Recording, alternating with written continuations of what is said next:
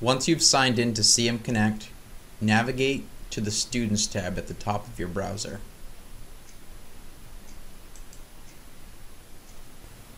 From here, we're going to scroll down halfway to where it says Student Registration, and we're going to make sure the term is reading correctly. This drop down allows you to select that term. We're going to stay in the 2019-2020 spring semester. Once you've selected the correct term, you're going to select Plan. When registering for classes, a useful tool is the degree audit. If you click on this, it will pop up your degree requirements with what you've completed and what you have left to do. If you scroll down, you'll see things with a red X that indicate something that's not complete. Or if you scroll down further and you see a green check mark, you'll see a class that is complete.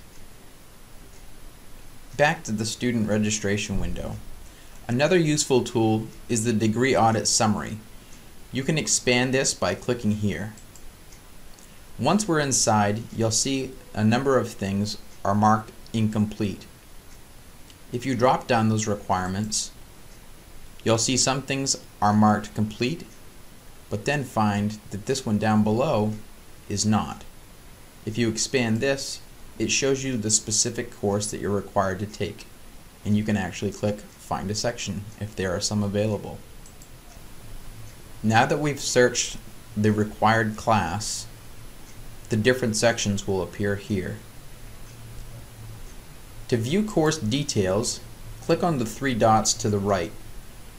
You can either add to your schedule, contact the instructor, or view section details, which shows you prerequisites and about the course.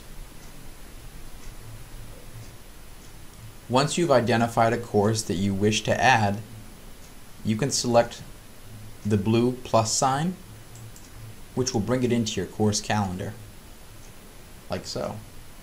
If you then decide that that course isn't going to work out for you, you can simply click on the course and select Clear from my schedule. Once you've found a course that works with your schedule, go ahead and click and add the course. Once you've added the course, it is actually saved in here, so if you want to come back at a later time and add these courses, you can. Planning your schedule ahead of registration is advised. This allows you to lay out your schedule in advance. Think of this feature as an online shopping cart that your courses sit in until you select Register. Now that our course schedule is set, you'll want to add these courses. Up in the top right hand corner, you'll see a green button that says Registration. Once you click this, it will prompt you to add those courses. Back to the student registration window. Another useful tool is our course search. If you expand this, you'll see a number of different ways you can search for a class. As an example, I'm going to search for a communications elective in the course code or title box. By referring to your degree audit, you can find that specific course code. Clicking into the course code or title box, you're going to type in COM dash, which can be found to the right of the zero on your keyboard, 100. And then click Search Courses. Now that we've searched for our communications elective, it's going to show you a number of different options you may have. It's also going to show you the days and times the course meets, what term it's going to be, whether it's full term or half term in those dates, as well as how many seats are remaining in that course, and then lastly, who's instructing that course. Back to the student registration window. Another useful tool is My Schedule up in the top right.